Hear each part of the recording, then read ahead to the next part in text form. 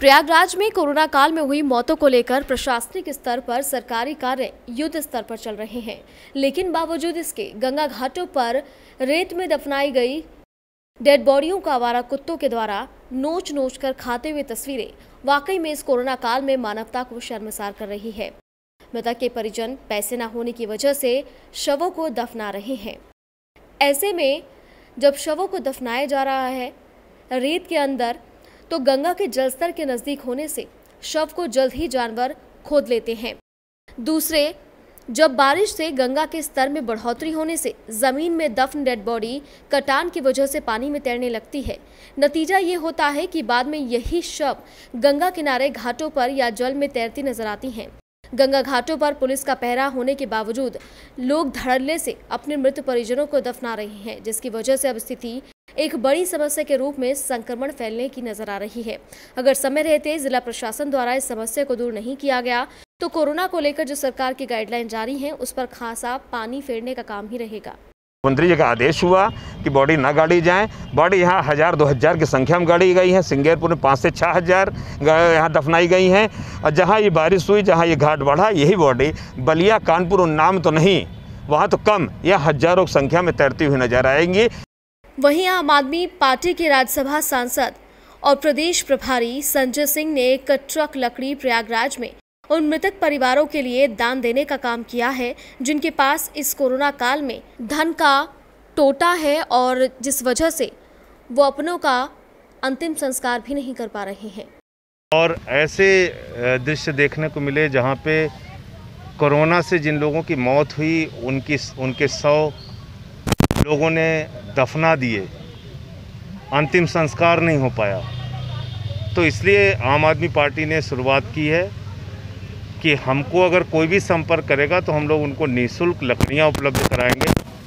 लकड़ियों के अभाव में किसी को हिंदू रीति रिवाज के विपरीत जाकर सौ दफनाना पड़े, मुझे लगता है वो ठीक नहीं है। सौ का अपमान है। और ये हम लोगों ने देखा। जबकि गंगा घाटों में बालू में दफनाई जा रही शवों को जिला प्रशासन के द्वारा निकाल कर अंतिम संस्कार किया जा रहा है और चिता जलाई जा रही है। लेकिन इसके बाद भी डीएम को ट्वीट करके विज्ञपित के ज़रिए सरकार को चिताने का काम जिला यूथ कांग्रेस के अध्यक्ष ने मांग की है। और यही नहीं, सरकार पर तंज कसते हुए कहा है कि अगर सरकार अंतिम संस्कार ना करवा सके तो कांग्रेस कार्यकर्ताओं को अनुमति दी जाए, जिससे कांग्रेस कार्यकर्ता खुद रेत में गड़ी हज़ारों की संख्या में शवों को निकालकर उनका अंतिम संस्कार चिता जलाकर करने का काम करेंगे। यह देखकर हमने जिलाधिकारी से यह मांग की है कि जो हज़ारों हज़ार की संख्या में सैकड़ों संख्या में गंगा के किनारे सौ बह रहे हैं और उनको छिलके हुए खा रहे हैं उनको वह हमें आश्वस्त करे कि उनका वह पुनः दाह संस्कार कराएगी।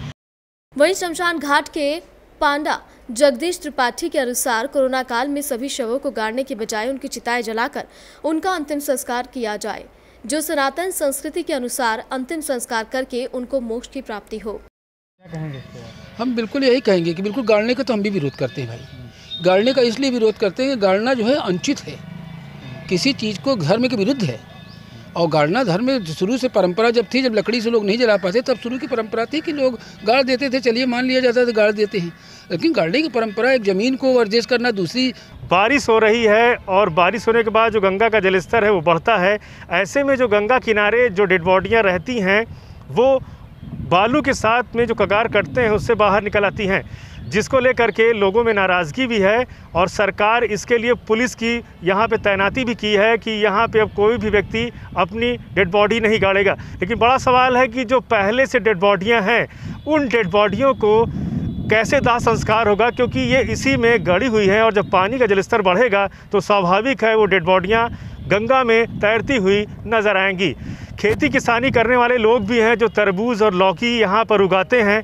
काफ़ी संख्या में जो तरबूज है, लौकी है, यहाँ पे सूख के पड़ी हुई है, जो किसक हैं, वो इस अपनी सब्जियों को ले भी नहीं गए हैं, क्योंकि काफ़ी तादाद में लोग यहाँ पे डेड बॉडियों को गाड़े हैं। तो आने वाले समय में देखना होगा कि अगर सरकार इस पर ध्यान नहीं देती है तो जो कोरोना को लेकर युद्ध स्तर पर कार्य किया जा रहा है, वो कहीं ना कहीं असफल करार होगा। न्यूज़ वर्ल्ड इंडिया के लिए प्रयागराज से पवन देव।